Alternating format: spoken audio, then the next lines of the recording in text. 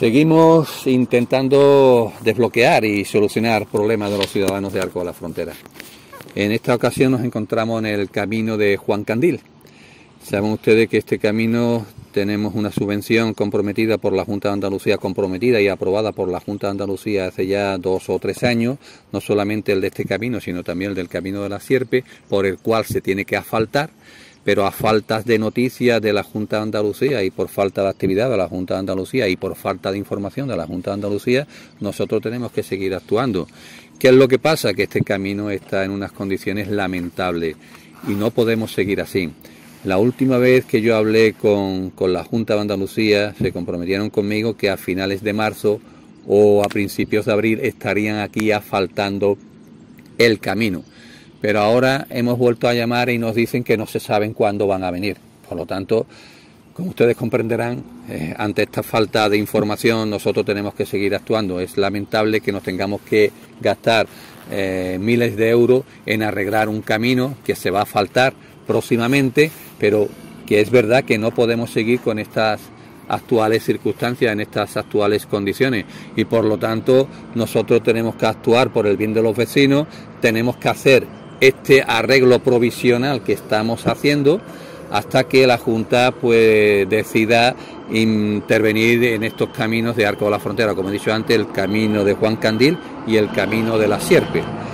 Lo que no queremos seguir perjudicando a los vecinos y hemos decidido ante la falta de información actuar.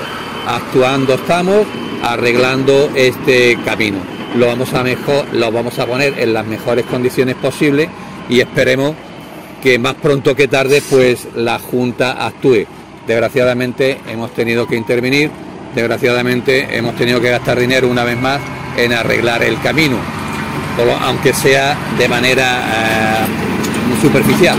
Pero lo hacemos porque ante todo están los problemas de nuestros vecinos y no queremos que sigan eh, pues preocupándose y perjudicándose por esta inactividad por parte de la Junta de Andalucía. Tenemos a un señor que la única dedicación que tiene es venir diciéndonos lo que tenemos que hacer y lo que no tenemos que hacer. Me refiero al candidato de AIPRO, señor Leopoldo, con todo mi respeto. Ya tenemos nosotros a los encargados municipales, a los trabajadores municipales, a los delegados municipales, a los técnicos municipales que nos dicen qué es lo que tenemos que hacer y cómo lo tenemos que hacer.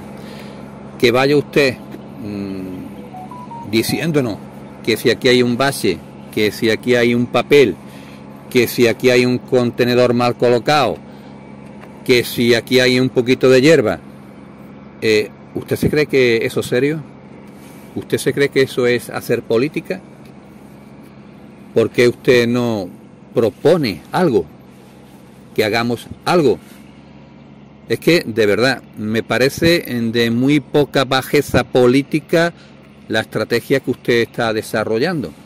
¿eh? Eso lo hace cualquiera, eso lo hacen las redes sociales. En las redes sociales se puede subir de todo. Pero hombre, que un político, que un concejal se dedique a señalar un base, a señalar una, una suciedad, a señalar una, un poco de hierba, a señalar un cartón que está tirado en donde no debe. Por favor, eso no es hacer política, eso es hacer populismo.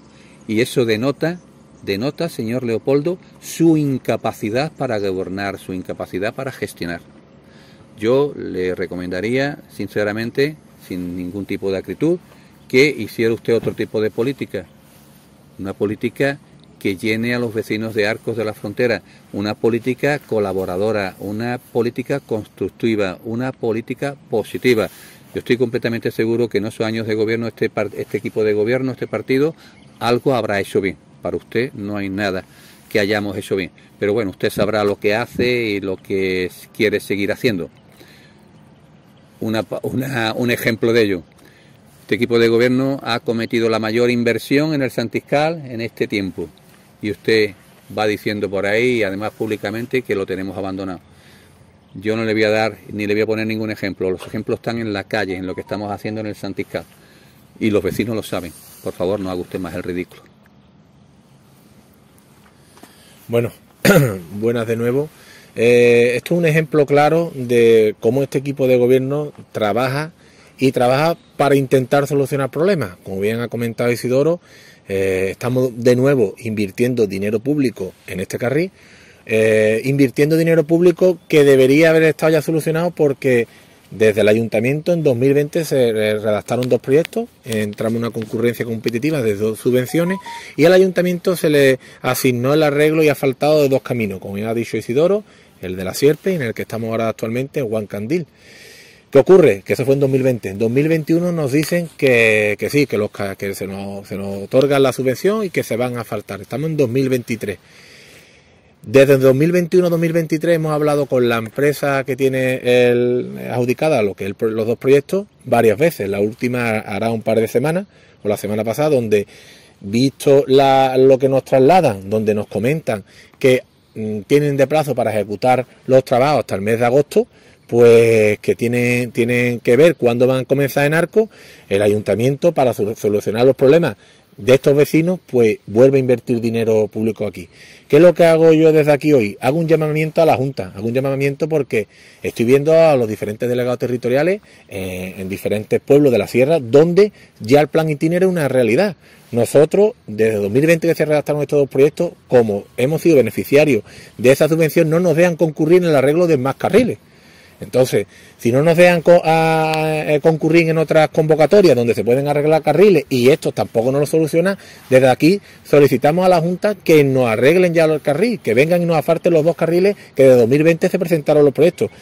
Lo digo porque a los vecinos al fin habrá que darle una explicación y no es este alcalde el que tiene que explicarle la dejadez de la Junta en querer arreglar los problemas de los vecinos de Huancandí y los vecinos afectados de la zona de la Sierpe. Al final mm, mm, no queremos ser mal pensados y no queremos llegar a pensar en que no nos los quieren asfaltar hasta después de mayo. Mm, no queremos ser mal pensados y por eso esperemos la lealtad entre instituciones y esperemos que la Junta de Andalucía quiera solucionar los problemas de los vecinos y no esperen o, estén jugando con la base de esperar después de las elecciones a hacer una realidad.